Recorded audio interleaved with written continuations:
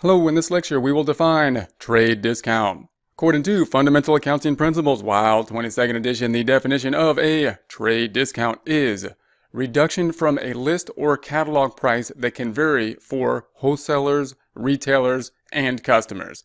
So we're talking about a discount here. So we're talking about a listed price and some form of reduction to that listed price as the discount. When we think about discounts, you really want to keep in mind are we the person that is receiving the discount or the person or company that is giving the discount? But the discount in essence is going to have a listed price, some type of discount, discount resulting in the price being less